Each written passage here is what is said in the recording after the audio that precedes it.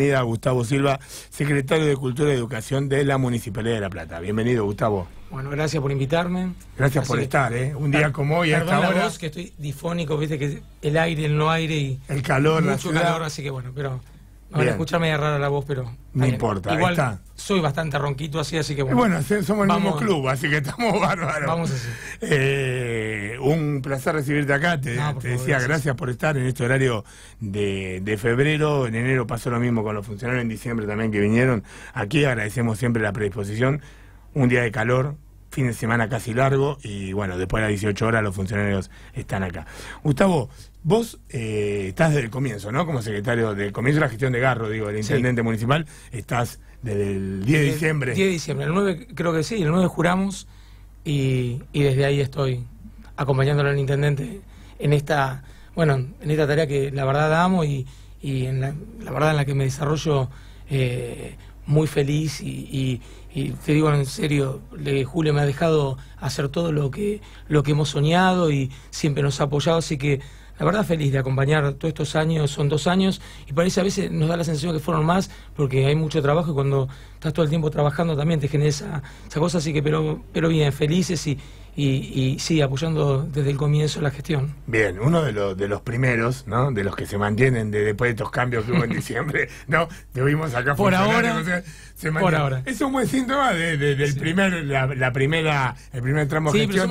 el que perdura es importante porque eh, significa que has hecho la cosa bien. Sobre todo en un área eh, como es la cultura y la educación, que es un área sensible eh, hay otras áreas por ahí como desarrollo social, donde son más problemáticas en algunos aspectos, pero donde eh, algunas cosas visibles y se visibilizaron eh, en, los medios nacionales, inclusive también de algunos hechos puntuales que se han hecho en tu secretaría, como uno de los casos más icónicos, entre tantas cosas que habrás hecho en estos dos años llevando adelante tu secretaría, pero es la República de los Niños, ¿no? Una apuesta en valor Dicen algunos que, son mayores que nosotros que de su fundación no tuvo un restyling, una modernización y una llevada adelante como tiene ahora, ¿no?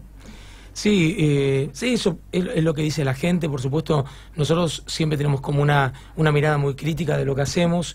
Eh, eso es, más somos un equipo de trabajo. Ahí el gran responsable es Manuel Wirt.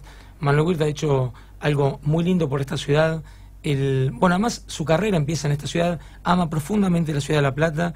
El tema República de los Niños era algo muy recurrente desde que empecé a trabajar con él hace como 20 años. Yo era muy chico y, Manuel fue uno de los primeros eh, artistas que creyó en, mi trabajo y que me dio una oportunidad para desarrollarme. Así que es mi hermano, eh, es mi amigo y, estar haciendo él, eh, estar haciendo esto con él, la verdad a mí me pone eh, tremendamente feliz y, y, también lo que es lo que digo, el apoyo que hemos recibido de, todos mis compañeros para hacer la República de los Niños. No es una, un logro de nosotros, es un logro de la gestión. Así que, pero es él la persona que hay que destacar y que no es platense, es nicoleño y, y que aún así quiere la ciudad tanto como los platenses, ¿no? Como los que eso, eso tiene la ciudad de La Plata, ¿no? Yo tampoco soy platense, soy porteño, digamos, para decirlo como se dice localmente. Y eso tiene la ciudad de La Plata más allá de que los que venimos a estudiar y después nos quedamos, algunos se reciben, otros no, como en mi caso, no me recibí, pero venimos y nos enamoramos de esta ciudad. Es que es increíble la, historia de la ciudad. los platenses tendríamos que descubrir, redescubrir la historia de la ciudad, leer un poquito más, vincularnos con eso y, y podríamos entender que muchos de los que le hicieron bien a la ciudad, por no decir casi todos, no eran platenses. Obviamente el fundador no era platense porque no existía la ciudad, pero muchos de los, de, los grandes hombres que ha tenido esta ciudad no eran de acá y, muchos de los que nacimos en esta ciudad, nuestros padres no eran, mis padres eran de Benito Juárez, eh, de Olavarría, mi mamá, eh, nosotros todos venimos del interior y hemos hecho a la ciudad lo que es y, esa es la polenta que tiene culturalmente, hablando desde la cultura, esta ciudad, la potencia, la, la, la verdad, eh, esa identidad cultural tan, tan fuerte, tan arraigada de todos los platenses, bueno, tiene que ver con eso, con que se nutrió con toda esa inmigración italiana en un primer momento, española, pero básicamente todo el interior de nuestra provincia y de nuestro país, gente que se ha venido a estudiar, a trabajar a La Plata, se enamoró de la ciudad y se quedaron. Eso, eso es real. Yo en el caso mío, bueno, me enamoré de esas seis cuadras, cada seis cuadras una plaza, cada seis cuadras una rambla, una avenida, eh, ver más árboles en la ciudad de La Plata que todo lo que veía en Capital o en el Gran Buenos Aires, donde me tocaba vivir, y eso fue también parte, aparte del tema, ¿no? Las opciones que justo es tu área, justamente hoy eh, tenemos nosotros una panelista, también estudiante de periodismo, Juliana Ruiz, que nos trae toda la data de la movida platense en lo que es arte, fotografía, pintura, exposiciones, todo lo que se genera en la Ciudad de La Plata. Y justamente es tu área, la cultura, la Ciudad de La Plata eh, es una ciudad eh, muy rica en esos aspectos, ¿no? O sea, vos tenés teatros, tenés cines, tenés eh, obras, tenés muestras, una ciudad que vive y late culturalmente, ¿no? Sí, lo que contaba, tiene mucho que ver primero con la riqueza, la diversidad cultural que hay, porque nosotros somos una ciudad que nos formamos con mucha gente de un montón de lugares diferentes. Cada ciudad tiene su identidad cultural o cada región y, como estamos conformados de esa manera, cada uno aportó un granito para hacer esta ciudad lo que es. Y por supuesto, un pilar fundacional y fundamental de esta ciudad es la universidad. Y la universidad ha hecho muchísimo por esta ciudad y genera permanentemente eh, eh, gente que, les deja una impronta muy pero muy importante. La Universidad de Bellas Artes, por ejemplo, la Facultad de Bellas Artes, perdón, es una facultad más importante que tenemos, yo voy a hablar de mi área, ¿no? Que es un motor, una, una, una facultad que es generadora de artistas permanentemente y, y de gente muy talentosa, la carrera de cine, eh, que es impresionante lo que, lo que da todo el tiempo, ¿no?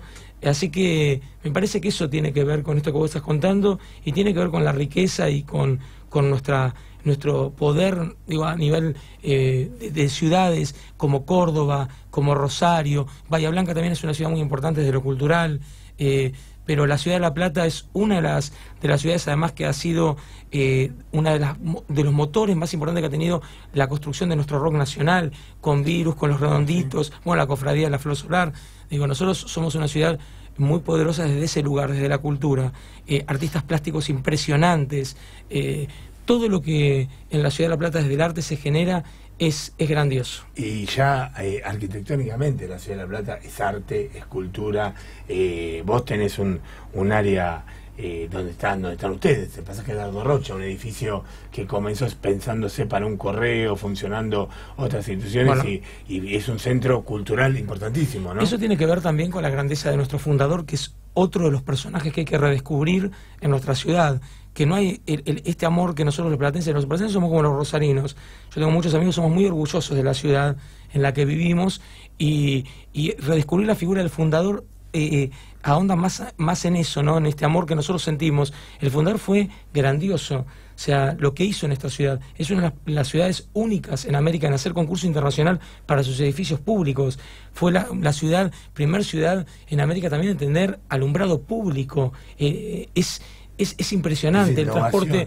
No, fue innovación, fue grandeza, una ciudad que casi se termina de, de, realizar en, en 10 años, 10, 11 años. En 1982 se pone la piedra fundacional en la ciudad de La Plata, el 19 de noviembre, y cuatro años después ya había entre 12 y 14 secciones de la ciudad eh, terminadas.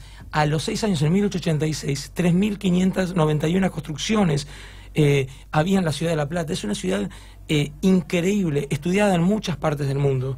Así que... Premio eh, en... Eh, tenía había visto, y, me encanta por, por ser adoptivo, hijo adoptivo de la ciudad, en empaparme, ¿viste? En leer y todo.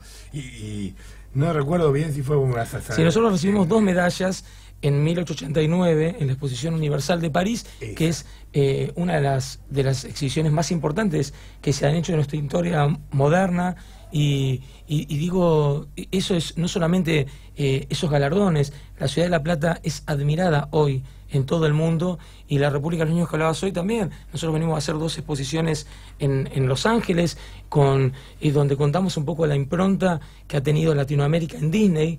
Y, y, se quedaron maravillados. Tenemos obras increíbles y la ciudad de La Plata, el casco urbano en sí, es una obra de arte. O sea, por eso digo, hay que, hay que releer nuestra historia y aprender del fundador que fue increíble. Hizo un kilómetro de vía férrea por día a partir de asumir como gobernador. Así que es uno de los grandes gobernadores que ha tenido la provincia y es nuestro padre fundador. Hay que ir ahí a, a, buscar la grandeza de esta ciudad. Bien. Eh, ¿Qué te parece? Son 18.33. Vamos a la pausa, a la tanda que impone eh, la radio, mientras deleitamos unas, unas exquisiteces, una es para vos, eh, de dulce de leche, una galleta con motivo ya de San Valentín para lo que viene, mientras deleitamos estas galletitas decoradas de dulce de leche en nuestra pisciante, vamos con la tanda y ya volvemos con más. Gustavo Silva, secretario de Cultura y Educación de la Municipalidad de La Plata, redescubriendo esta cara oculta del funcionario y la cara oculta de la ciudad, ¿no? Lo que se sabe por abajo y que muchos de los platenses adoptivos o nativos no conocemos de esta ciudad. Ya estamos en